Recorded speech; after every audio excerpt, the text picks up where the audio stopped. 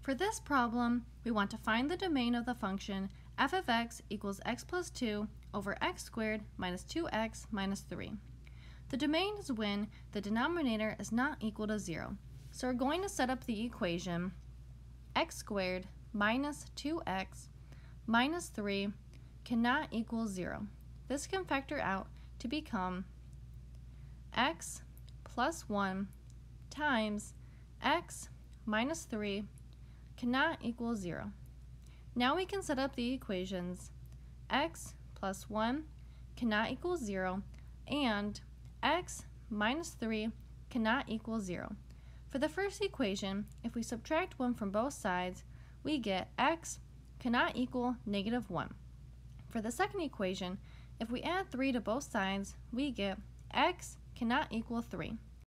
So the domain is the set of numbers between negative infinity to negative 1 and the set of numbers between negative 1 and 3 and the set of numbers between 3 and positive infinity.